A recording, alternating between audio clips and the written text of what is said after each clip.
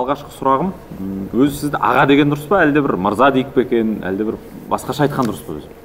Жасыңыз кіші болса аға деп сөйлегеніңіз дұрыс. Енді мырза деп ол мырза деген жігіттерді елдің басына қарап отырған елді өзіне қаратып елді басқарып отқандарға айтса жарасады. Ол мырза болатын болса ол. Ол елді тонап жататын болса оған керегі жоқ мырза деп айтуға. Ал енді маған өйтіп қосып айтса мен енді бір мырзалық танытып жағылып жатқаным жоқ. Мен халықтың үстінен күн көріп отқан адаммын. Халық концертіме жиналса содан менің жағдайым жақсы болатын адаммын мен. Сондықтан ол ә, мен тек халыққа ә, өздерінің қалжыңын қазақ қалжыңын қайтарып беріп жатырмын.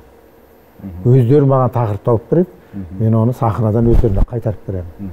Мұқағали айтады ғой қазақтың қара өлеңін шапан киелеріне қайтарамын уәлибек аға жалпы сізді ә, ел ә, бір актер ретінде таниды бір актер дейді барлығы. Бірақ ә, сізді бір автор сатирик екеніңізді бір көбірек ұмытып кетіп жататын сияқты. Осы сізді бір қынжылтпай ма кішкене? Бұл енді қынжылтпайды мені. Актер десе енді ол актерлық шеберлігім оған жетіспейді. Актер деп айту мен үшін маған дұрыс нәрсе емес секілді. Оны кезінде бір рет айтқам мен шақырған кезде басқа бір ә, хабар телеарнасының таңғалмаңыз несінің несі өтіп жатты сол кезде мені азамат сатыбалды актер деп шақырды.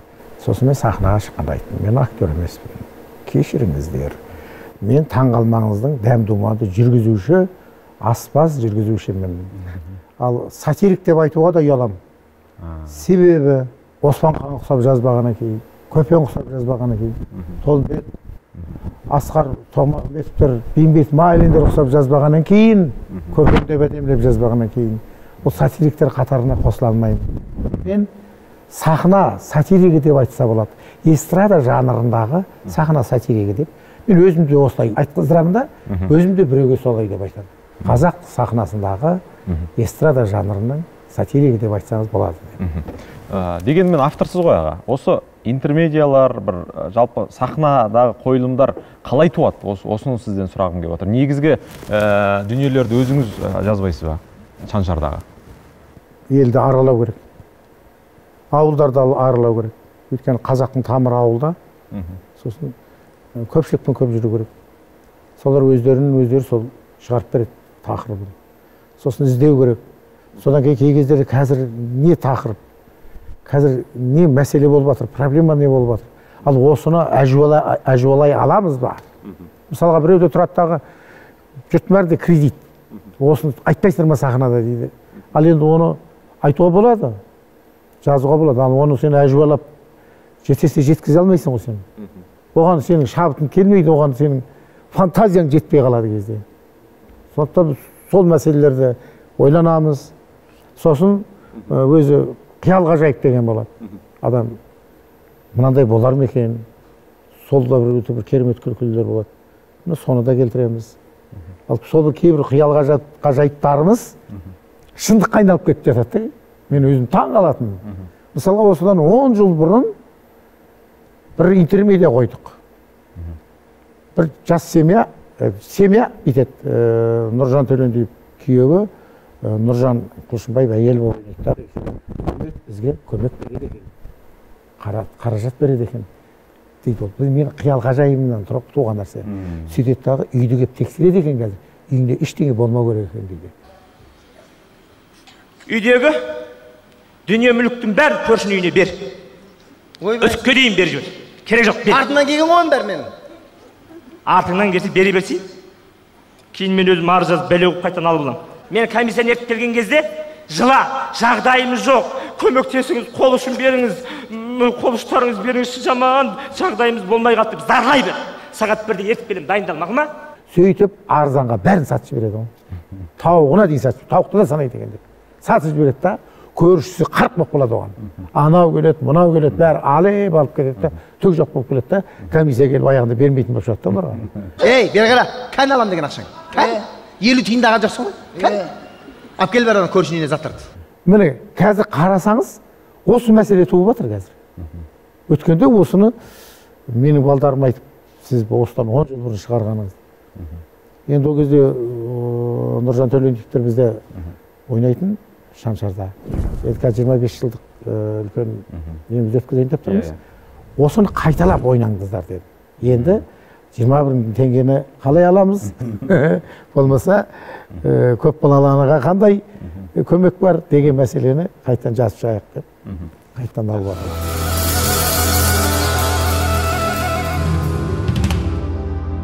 аға жаңа ә, өзіңізді қалай атау керек екенін қалай дұрыс атау керек екенін айттыңыз ғой. Ә, сіздің шаншар сіз басқаратын шаншар театрын жалпы ә, қалай таныстырған дұрыс? Шаншар театрының басты мақсаты не дегенде сіз қалай жауап берген болар едіңіз? Әзілдеу ма әлде ағартушылық па? Бірінші кезекте ә, шаршап отырған халықты көңілін көтеру күлдіру. Ал енді ол күлдірудің өзі бір ә, тармақ тармаққа бөлінеді. Жаңа мысалға етегіңізді көтерсеңіз де күлдіруге болады. Ә, аудың әңгімесін айтсаңыз да күледі қазір. Олай емес ә, шектен асып кетпей. Қазақы қалжыңменен күлдіру. Қазақы қалжыңменен күлдіру. Ол әлі жетесіне жетем біз оны толық меңгеріп меңгере алмай жатырмыз әлі о ескі бейімбеттерді оқып отырсаңыз бір келеді әдемі бір ой тастап күлдіретін жерлер. Сөйтіп күлдіру. Одан кейін мысалға бір қойылымымызда бес алты интермедия орындалады. Соның төртеуі ол ой тастау халыққа. Тәрбие. Мәселелеріменен жасау. Сосын мынау келеңсіз жағдайлар бар ғой қазір. Соны, соны бере алсақ астарлап бере алсақ астарлап дейміз. Ал енді оны ә, енді түсінетін қазақ түсінеді сөздің астарын түсінетіндер журналистер түсінеді филологтар түсінеді. Көп па олар? Олар көп емес бізде. Олар аз. Өте аз. Мысалы мен мұхтар әуезов өзімізде мұхтар әуезовке барып концерт бердік шаншардың концерті сол кезде филология факультеті тарих факультеті журналистика факультеті келді олар әрбір сөздің астарына түсініп күлді. Біздің әпкеме жетімсай деген бір интермедиямыз бар. Исраил сапарбай жазған. Бір ақын ауылға келіп мен шығып күтіп оны үш күн болды мынау кіріс бар шығыс жоқ жей береді екен деген. Сөздеріме күліп батырды енді. Сонымен анау ана өлең оқытамын ханым ай деген өлеңді оқытамын енді оған енді анарадағы ол ақынды білетін жазбашылықты білетін қазақи нені түсінетіндер күлгенде енді шапалақ ұрып келді. Одан кейін біз арт шетінде тағы да спорт несі бар басқа жәндегі эконом фактор бар соларға бермек олар оны түк те түсінген жоқ. Ә, сонда шаншардың бір нағыз көрермені өте аз деген сөз шыға ма? Ә, сөз шығып шығуы мүмкін. Сөз шығады ол. Нағыз көрермен өте аз. Қазір тіпті орта, орта буыннан жоғары болып жатыр бір бекзат аристократ театр деген сөз ба сонда Ша- шаншар? Жоқ ол, ол бекзат аристократ театр деп айта алмаймыз оған. Олар, олар опера балет театрлары ғой ол. Біз тіпті мұхтар әуезовтердің қатарына қосылып біз театр деп айтудың өзіне ұяламыз кей кезде. Бұл бұл эстрада жанрына жатады. Ал енді сұрап келген кезде мәскеу жақтағы мық- мықтылар бар емес па? Олар айтты бұл эстрадада да театр болады. Бұл театр тек қана анау драма театрларды ғана айтпайды. Деп. Оның үстіне мен ә, сатира театрын ашқан кезде мен ә, сатира театрын ашқан кезде маған көркемдік жетекші білімді бала керек болды да жас маманды мақсат айтжанов деген өте білімді актерді сен көркемдік жетекші бол деп алдым сол қатты ізденді. Біздің стиліміз не? Неге бұл әзіл са- сатира театры деп аталады? Бұл немен айналысады бұл? Мен айттым бұл жалпы күлдіру мақсатындағы неше түрлі күлдіру тәсілдермен айналысады. Бұл спектакль де қояды. Бұл қойылымдар қойылады бұл музыкалық қойылымдар қоямыз. Тіпті квн ге шатыс нәрсені де қоямыз. Біз клоун болмаймыз. Ол цирковой жанр деп цирк жанрына жатады деп түсіндіргенмін. Ол түсінбей қойды да кейіннен ленинградқа барып кетті он күн оқуға. Барып келді сіздің айтқаныңыз дұрыс екен. Бұдан да бір қатты масқара күлдіретін театрлар бар екен. Біздікі қайда? Ол мәдениет екен. Сөйтіп осындай неше түрлі сала бойынша қоюға болады екен. өйткені оны неге олай қойдым дегенде мен айттым муз комедия деген театр бар. олар спектакль музыкалық оларда оркестр отырады. музыкалық комедиялар қояды олар. музыка медиа деп аталады. Негізі жанр бойынша. Ал енді әзіл сықақ және сатира театрына әзіл сықақ та сатира да кіре береді. Спектакль де қоя береміз деп айтқан. Сол сол бойынша келді. Ал енді шаншардың өзіне келетін болсақ шаншар бұл эстрада жанрындағы ә, әзіл сықақ театр болды.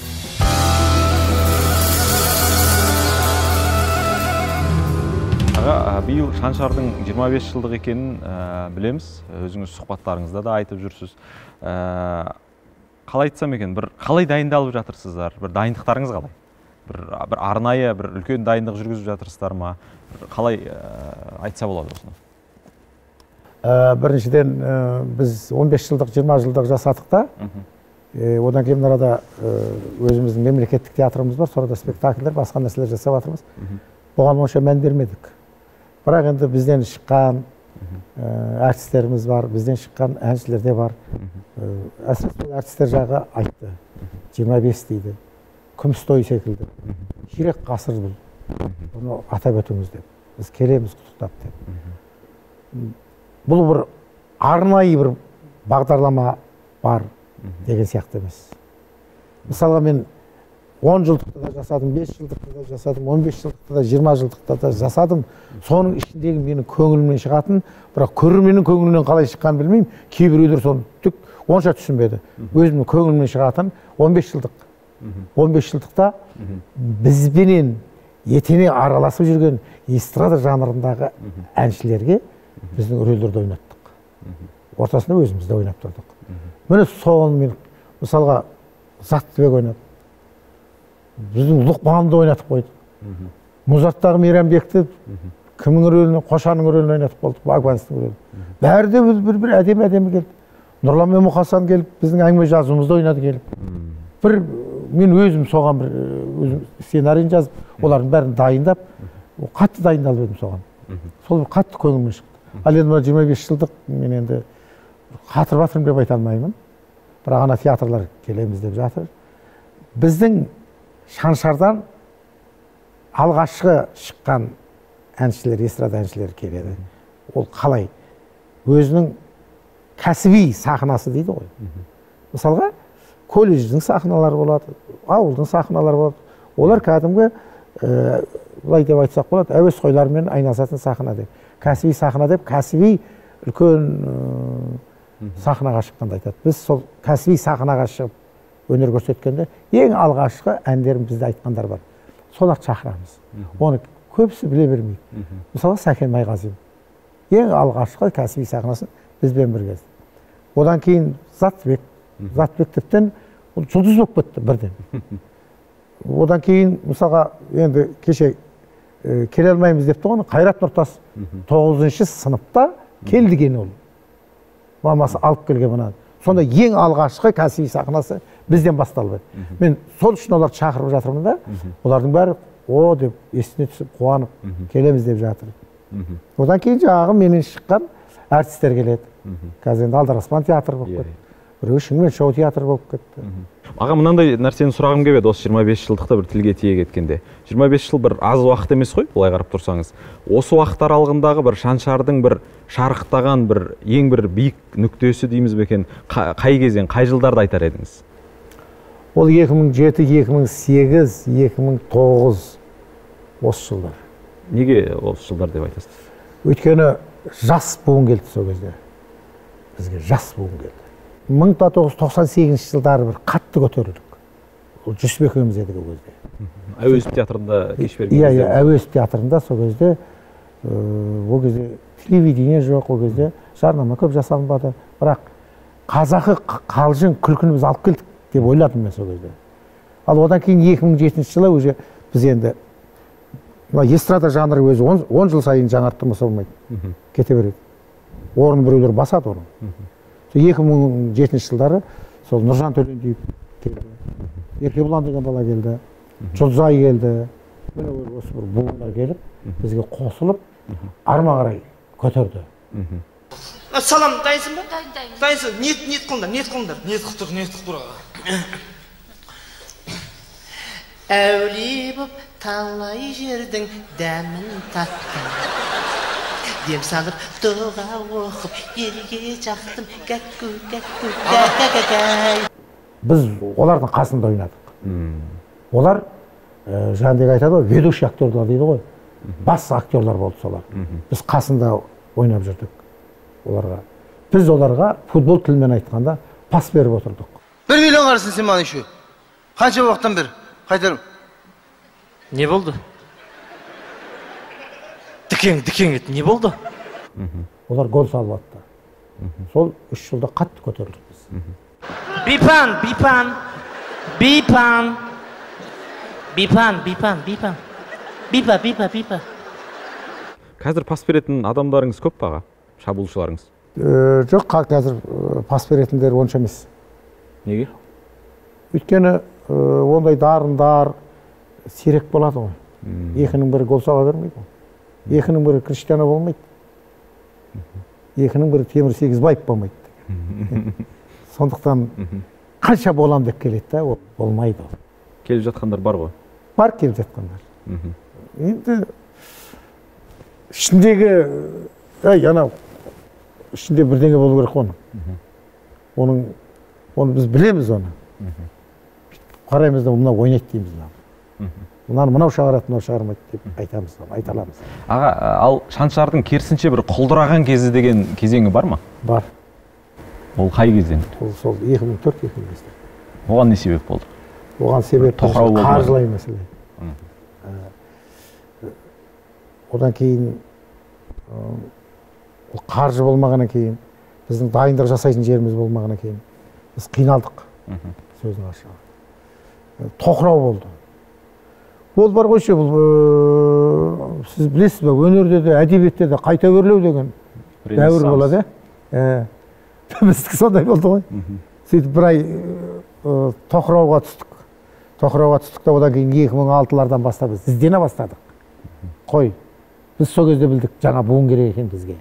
Біздің мына жүсіп екеуміздің қасымызда балдар олар қазір естіп отыр ренжімесін ілесе алмады біздің ойымыздағы нәрсеге ілесе алмады сол кезде мысалы мен сол кезде жазған интермедиям екі мың төртінші жылы жазған интермедиям ешкім ойнай алмады. Қайсыны қайсысы қойылмайды ол? Ә, онда мен анау бір мұрт қойып қыз көруге келемін.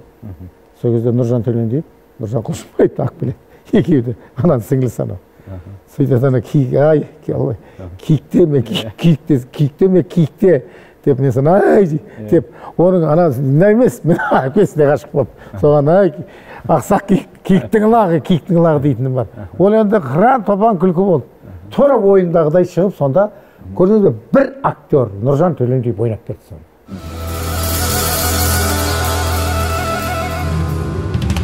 Әлібек аға осы әңгімелеріңізге қарап отырсам бір ә, нұржан төлендиевпен сахналас болған кезіңізді бір сағына еске алатын сияқтысыз. Солай айтуға бола ма? Кезім дірілдеп тұрған кезім ғой. Көкем сіз сонда бол болса жиырмасыншы жылдарда болса той.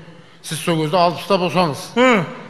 Қазір екі мың тоғыз сіз сонда қазір жасыңыз жүз қырық бесте ма не болып кетті мынау жүз елу ма біреулер болды ғой? Қой біраз ұрып тастаппын ғой ә? Ол енді мысалға қарасаңыз ол ана ескерткіш ойындары. Оның мысалға сал сері деген ойын. Бар. сондағы нұржандар нұржанның ойындары қандай рахат? Сенің сөзіңнің шетін жандырып тұр ол. Ал ол жандырмаса ол нұржан да кей кезде жылап еске алады. Мен баяғы шаншарда жүрген күлкіні сағындым. Жұрт басын шайқап тұрып күлуші еді. Қазір сол жоқ дейді. Олдай ол да ертең қуана қуана келе жатыр ғой енді ол талай рет айтқан. Бір дүние жазыңызшы баяғыдай ойнайтын келіп ойнайын деп ол айтады жиі жиі айтады. Енді оның театр бөлек менің театрым бөлек болғаннан кейін одан кейін жаңағыдай спектакль жазулармен айналысып кеткеннен кейін қолым тимей жатыр сөздің ашығы аға ә, жалпы осы жұмыстардан шаршаған кезіңіз бола ма шаршадыңыз ба жалпы түңіліп қол сілтеген деген сияқты тоқсан бесінші жылдары тоқсан алтыншы жылдар болған ол ол кезде білесіз клубтардың бәрі жабылған кез біз енді жүсіп екеуміз тоқсан төртінші жылы аштық қой бара алмайсың клуб жабық клубтың ішінде кептер тазалап адам шақырасың одан зорға келеді. Ал қойғым келді сол кезде. Қойғым келді. Өйткені мен бітірген оқуым араб тілі ғой енді. Мені ауылдың клубында жаурап жасынап жаңағыдай сахнаның артында тұрғанда мен сол кезде жылағым да келеді. Мынау не отырыс. Менің курстастарым группаластарым көрсе не дейді қазір? Біреуі иракта жүр елшілікте. Біреуі қазақ түрік университетінде сабақ беріп жүр екі үшеуі мен клубта жүрмін. Мен клубта ауылда сасық клубта отырмын. Бұл не деп? Талай қойғым келді соны. Бірақ енді басында ашқаннан кейін жүсіп екеуміз енді бар жұмысты қойдық осы өлсек те тірілсек те осымен айналысу керек дегеннен кейін айналыстым мен айналыстым тіпті бар ғой ше мынаны айтайын мен оны еш жерде айтпап едім ашқам шаншар театрын тоқсан төртінші жылы. Ескерткішке сол паспортымды алып қойдым қазір. Мені қайрат сахи қайрат сахи деген қазір керемет жазушы бар. Бейбарыс туралы жазған. Талай шетелдерде елшілік қызметтерде болды дипломат. Екеуміз бір партада отырып оқығанбыз сол араб тілін оқыдың ғой сен. Саған көмектесейін деп. Әли асқар университетіне маған жолдама алып берген өзі египет мысыр елшілігінде маған рұқсат қағаз беріп паспортыма мың да тоғыз жүз тоқсан төртінші тоқсан тоғызыншы жылға многократный выезд дейді ғой. Бес жылға қанша кіріп шықсам да ұрып берді. Қолымда направление қағаз оқуыма болады. Маған үлкен шанс. Сол кезде алма салихова деген қызды алып қойғанбыз жұмысқа. Нұржан төлендиевтің туған ағасы бағлан төлендиевті жұмысқа алып қойғанбыз. Айман деген қызды алып қойғанбыз. Мен бармын жүсіп бар. Солар тастай алмадым сонда. Кейін енді осындай осындай нәрселер болды. Ал 98 жылы ә, сол 94 жылы содан кейін бізді ә, жан жақтан қолдау көбейе бастады. Әли бектаев деген қазір сенатор.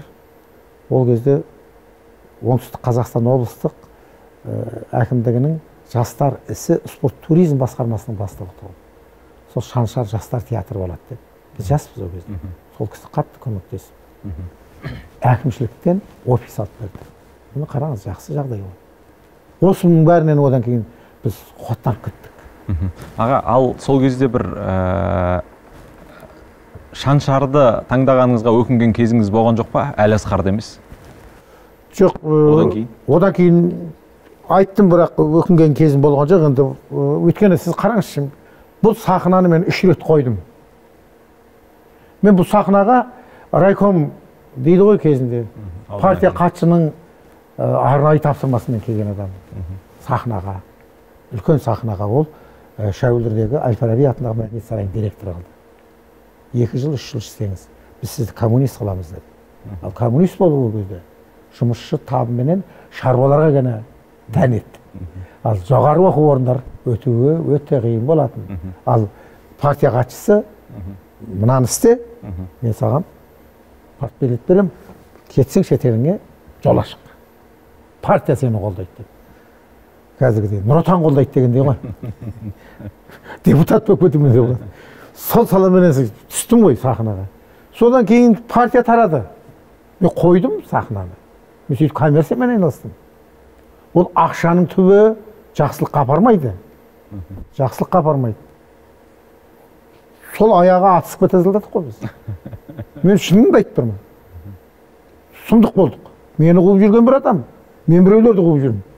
Менен ақша біреулер алған біреулерге мен қарызбын деген секілді орада үлкен сумма ақша ойнап жатыр сол кезде әкем айтып еді енді біреу үйге іздеп келеді ғой біреу сізге оңай ма біреу мылтықпен үйге іздеп келіп жатса түрі бұзылып кеткен күлмейтін сәлемдеспейтін біреу келіп әлгі қайда үйім осы деп тұрса жаман ғой енді сосын кейіннен әкем айтты шырағым бұл жұмысыңды қой керек жоқ сен миллионыңның сенің тыныш отырып қатқан нанымызды жейік.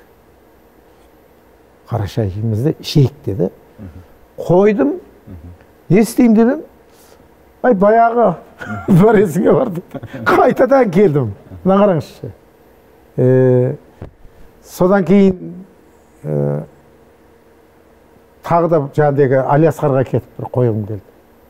Осы бір екі үш рет сосын мен өзім ойладым иә менің мүмкін тағдырым осы сахнамен байланысты болып тұрған шығар мені алла тағала қайта қайта сахнаға алып келіп сөйттім да одан кейін білек сыбанып не болса да кірісейін дедім. Ал енді соны қазір ә, сол кезде дін жолында жүрген қазір мынада медресесі бар халиолла маджанов деген менің досым бар. Біз мен оларға олармен бірге жұмыс істеп жүрдім. Діннің алғашқы тарату қиын болды ғой.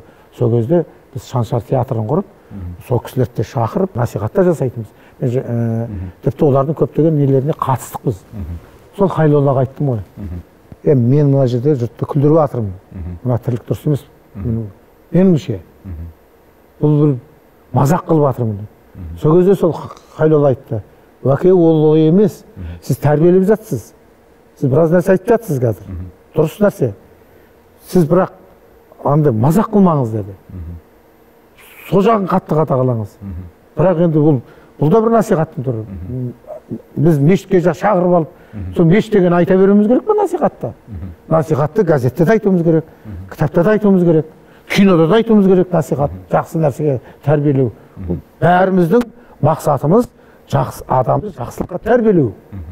Сондықтан да мынаны ұялмай көтеріңіз шаншарды әлі күнге дейін ол кісімен хабарласып отырамын. Ол кісі риза. Содан кейін барып кейіннен сол тоқсан жаңағыдегі алтыларда кірісіп кеттік қой білекті сыбанып. Одан кейін айтып отырмын тағы да жақсы кісілер келді. Облыстың зама әкімнің орынбасары дархан мыңбаев келді. Ол кісі тіптен ол қазақ қалжыңға беріліп қалған кісі екен. Ол кісі тіптен бізді көтермелеп тіпті алматыдағы ол кезде қазақстан еді ғой бір ақ телеарна береді соған барып түсірді ол. Сосын кейіннен тұңғышбай шақырып жатыр дегенді естігенде енді төбеміз көкке жетті ғой енді енді шегінбейміз дедік қой болды енді қою деген мүмкін емес енді.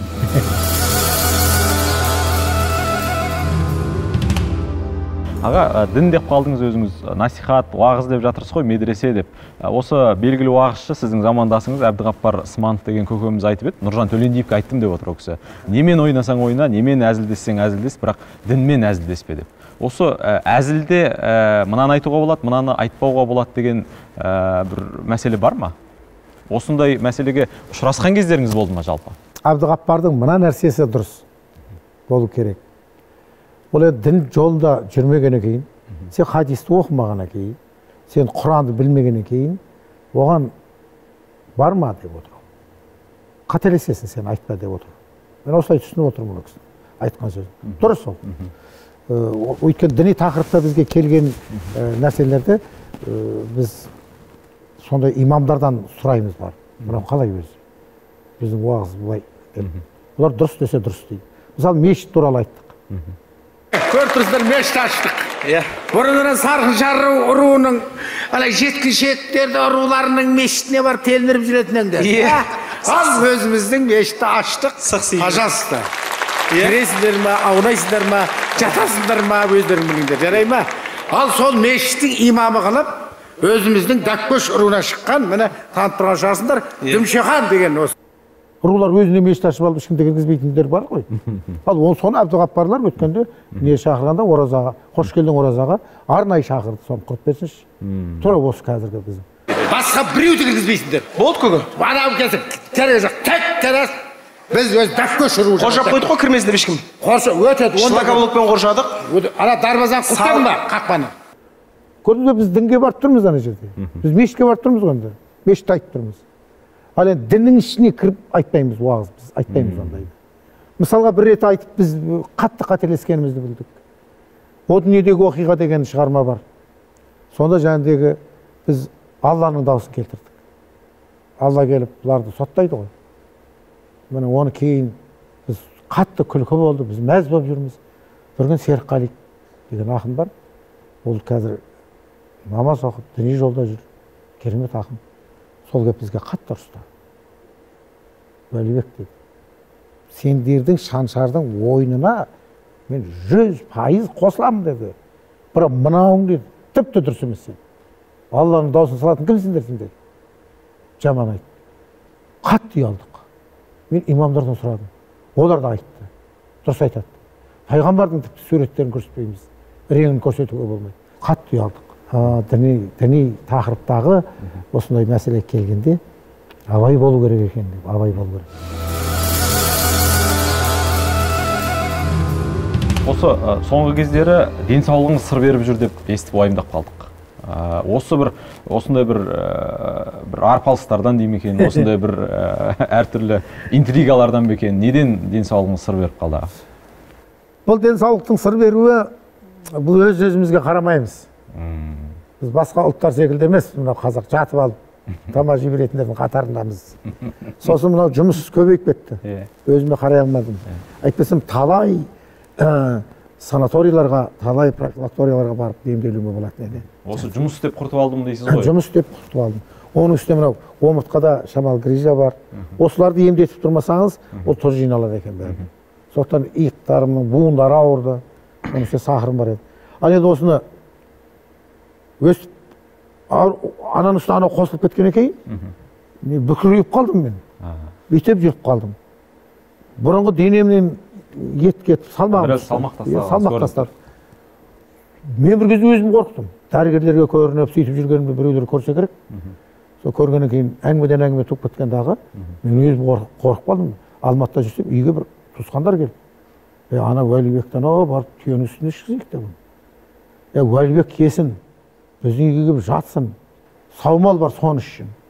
Мен оны мынандай қылып емдейін оны атқа мінсін деп эхе жұрт естіген екен ғой деп. Сонымен ең соңында германияға бармай ма емделуге сол жақ мықты ғой деп сөйтсем ол жаққа барып сол мені көріп отырған дәрігерім қарағандыдан кеткен емес екен маған күлді. Ей сен саумал ішші деп жіберді ғой. Мен ііі қырық үш күн саумал іштім. Сол балдарға күліп айтамын ғой нақ тоқтаттыңыз дейді. Ей қырық үш күн іштім құлын болып кете салдады ғой енді айғыр болайын деп қымыз ішіп жүрмін деп. Ал енді ііі, қазір денсаулығым құдайға шүкір. Тәбетім жақсы бәрекелді иә ұйқым дұрыс енді буындарым ол, ол, ол жай кететін нәрсе екен оны германиядағы дәрігер де айтты ол бір жылдай жүресің бірақ бірінші мына иммунитет дейді ғой ішінен соны ашып ал деді сөйтті да сосын тік жүріңіз деді мен сөйтсем бүгілген үстіне бүгіле берсеңіз ол омыртқаңыз қисайып э, ол шыныменен сіз, иммунитетіңіз жоғала береді екен өзі шариғат деп қалдық қой жаңа. Шариғат шариғатта айтып жатады ә, дені сау адамның басында бір алтын тәж болады оны бір ауырған адамдар көре алады деп. Жалпы осы бір осындай ә, ауырған сәттерде бір қандай ойлар келеді екен адамға? Не ойладыңыз? Енді ә, мынау мынадай болды да бір ай болды. Бір айда ұйқым қашты менің екі сағат ұйықтаймын. Бір сағат ұйықтаймын. Күніне? Иә күніне.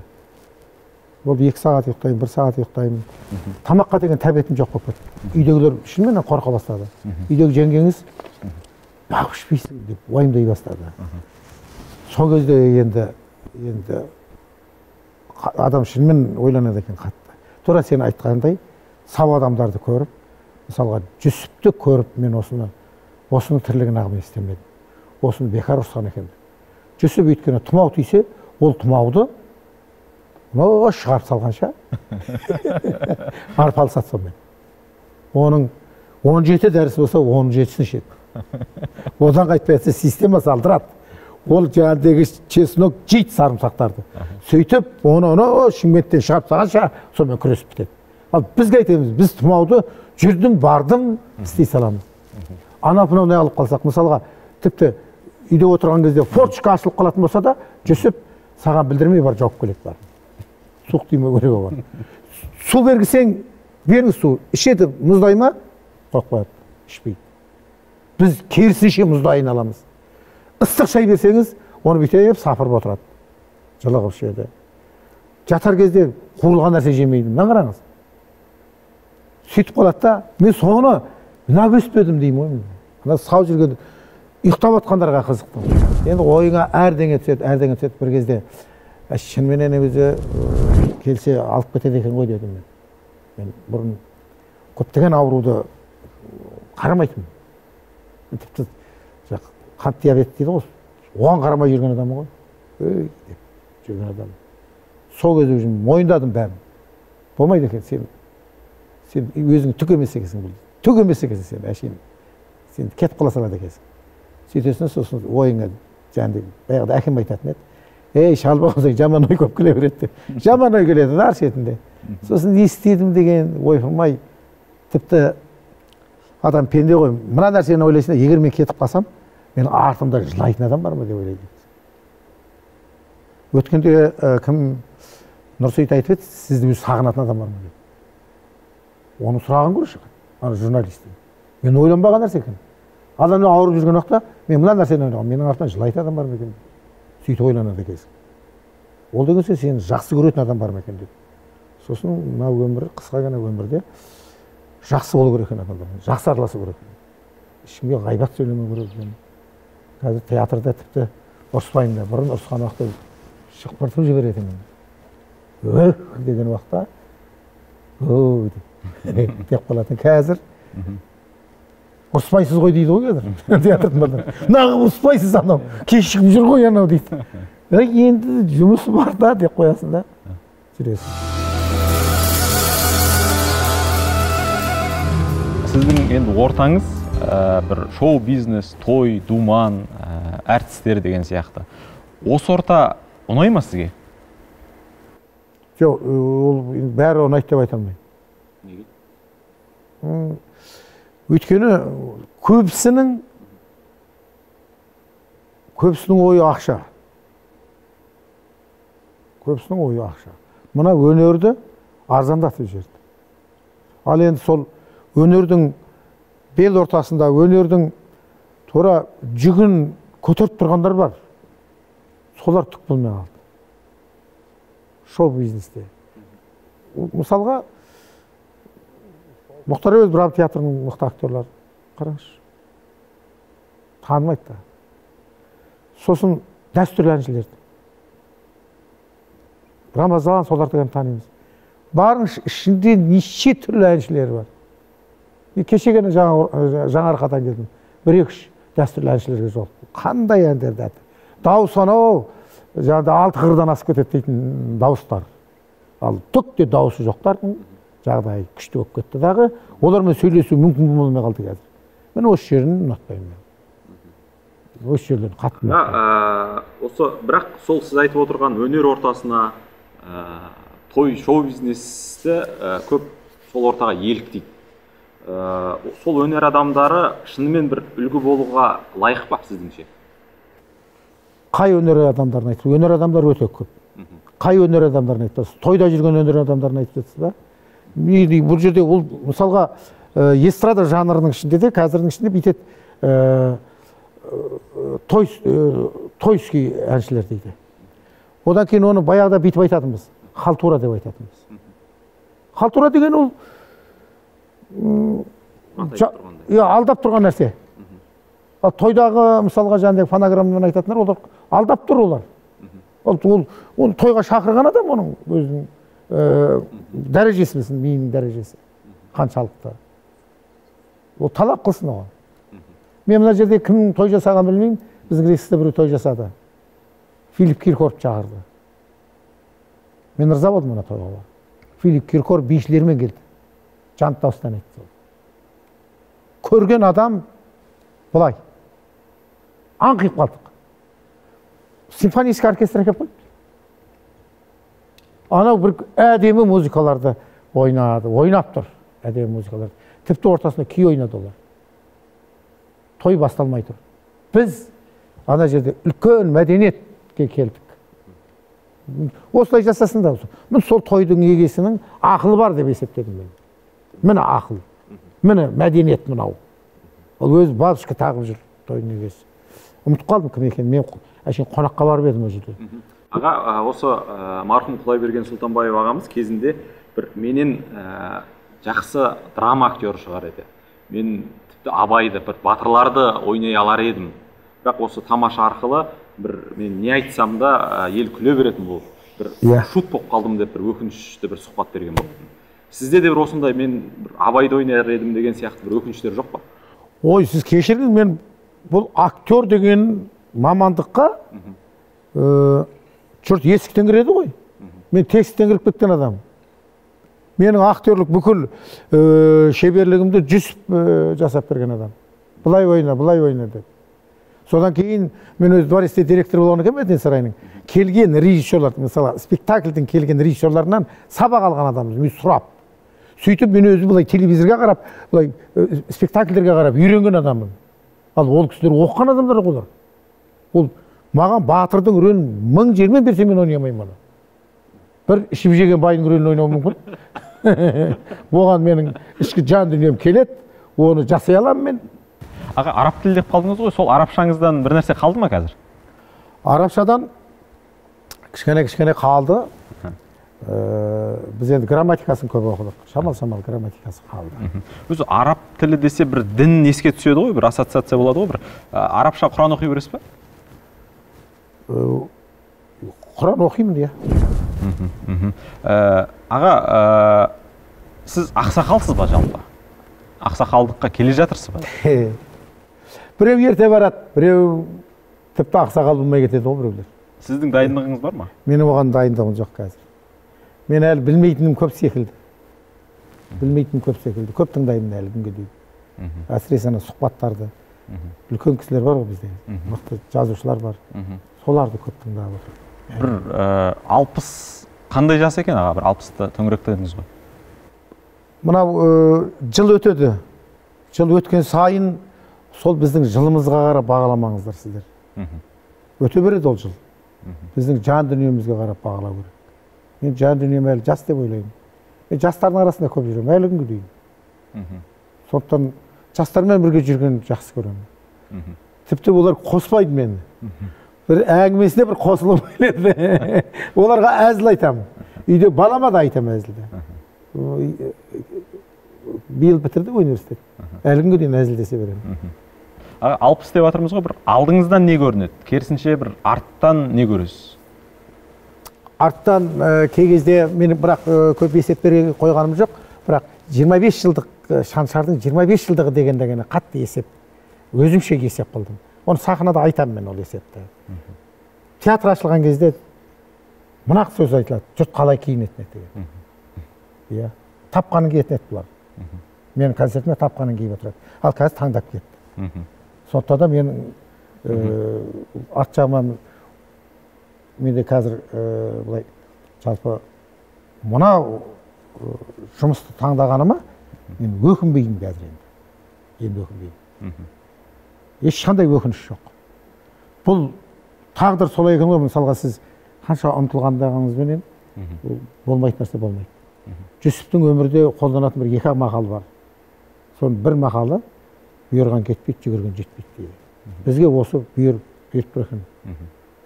Осыны таңдап осымен кеткенімізге өзіміз бақыт санаймыз. Демек аға сіз бір өкініші жоқ адамсыз ба? Өкініш жоқ адам. Неге өкінемін мен? Қиын жағдайлар болғанда одан да жол тауып кеттік. Ал оған өкінесің ба сен? Бір енді өкініштер бар шығар. Ә, мысалға мына нәрселерге өкініп кетемін. Бір адамдарды сыйлай алмай қалдым анамды қатты құрмет қыла алмай қалдым. Әкемді де сондай бір қатты құрмет қылмай қалдым енді өкініш ол енді. Қатты өкініш. Әлі күнге дейін өкінемін. Кезінде намаз оқимын мен. Соны мына жұмыс басты бірдеңе басты болып кетті дағы. Сол намазым доғарып қалдым. тоқсан төртінші жылдары тоқсан бесінші жылдары намаз оқыған болғанмын сол доғарып қалдым дағы бұл енді намазды қойып қайттан бастап қайттан қойған қиын болады деп біреуден естідім. Содан кейін бастағым келіп жүр да қазір. Ал енді бастасам мен жан жағыма айтамын ғой енді бастасам қиын болады сендерге. Мен мен, мен тіптен жаман бәрін де тәртіпке шақырып жіберуім мүмкін. Бәрін де қатал болып кетуі мүмкін. Аға сіз неден қорқасыз? Қорқынышыңыз бар ма? Қорқыныш бар. Алладан қорқасың. Ол өте қорқыныш. Өйткені айтып отырмын ғой ол бізге мүмкіншілік берді ғой біраз нәрсе мүмкіншілік берді алла тағала. Сол мүмкіншіліктерді пайдалана алмайатырмын осыдан қорқасың. Түбі барасың ол жаққа философия философ ә, болсаң да ә, бір нәрсенің басы бар аяғы бар дейді ғой. Ал сол секілді оның аяғы бар бұның аяғы бар. Ертеңгі күні. Неге қорықпайсың? Қорқасың аға бір ішкі ә, ар ожданыңызбен дейді ғой қазақ. Бір жеке қалғанда ә, бір жалпы ар ожданыңыз не деп мазалайды сізді үнемі? Ар ожданым мына нәрсені мазалайды. Мен өзі көбірек сөйлейтін адаммын. сосын егер сен мені маған мақтануға мүмкіншілік беретін болсаң мен әжептәуір мақтанып қоятын адаммын. Өйткені ә, бір нәрсені бір ә, әсерлеп жеткізгенді ә, мысалы оны зор көрсеткен көрсетуім үшін мақтанып жіберемін. Ал сол кезде мақтанып жатқан кезде өтірік кетіп қалады. Осыны сұрайын деп отыр едім. Иә. Өтірікті қаншалықты жиі айтасыз? Сол мақтанған кезде айтамын ғой. Өтірік кетіп қалады да өтірік кетіп қалғаннан кейін соған өзім ұяламын бір кезде.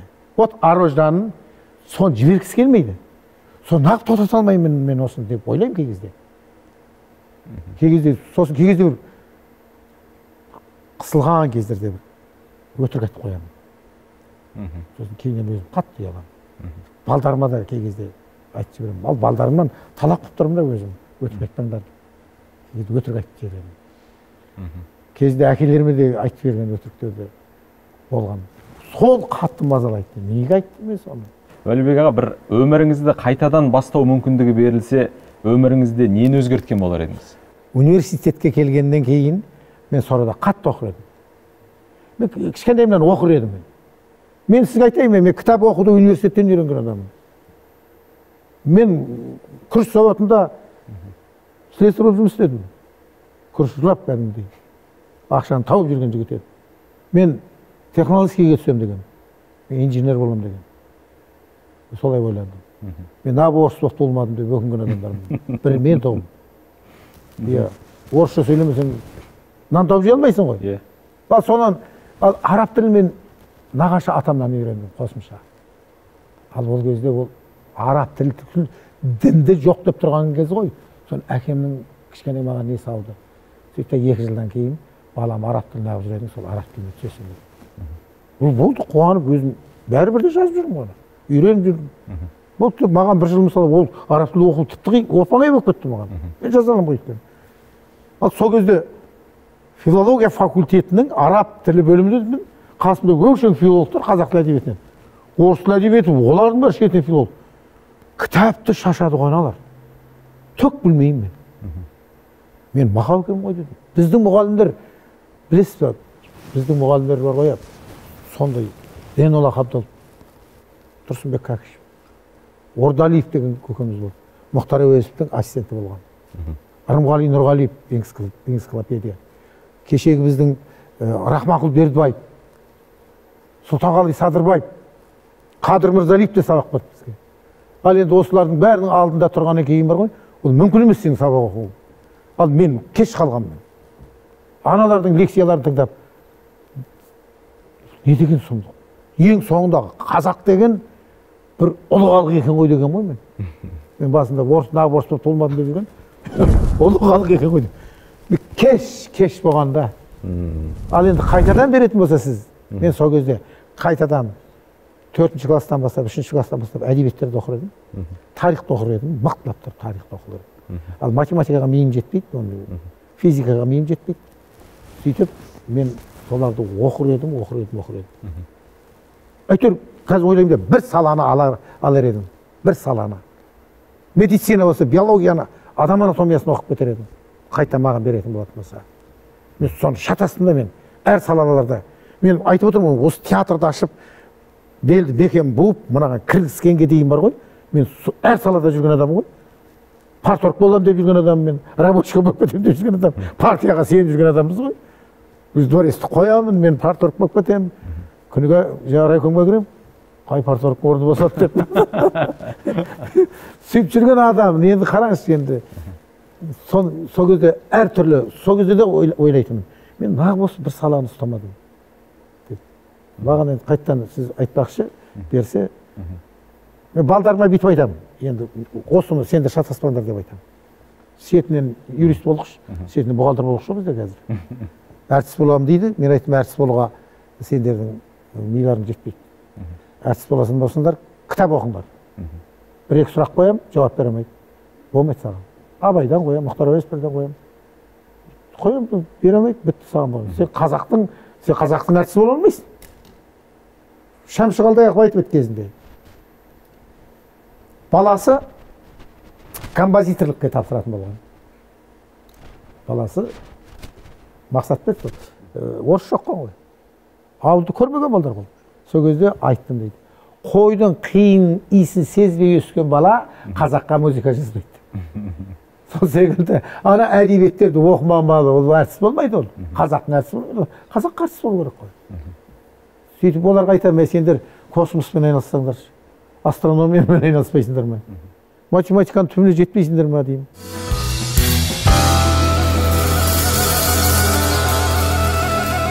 Аға ә, біздің бағдарламамыздың бір дәстүрі дейміз бе екен бір салты бар еді. Иә. Ә, бір суреттерді көрсетсем сол азаматтар туралы бір өзіңіздің ойыңызды дейміз бе екен пікіріңізді айта тұрсаңыз танысам айтамын бірінші ә, мына азамат туралы не айтқан болар едіңіз? Көке деп сыйлап тұрады. Жақсы әке көп балалы әке тура қазаққа сай қазақтың санын көбейтіп жатқан.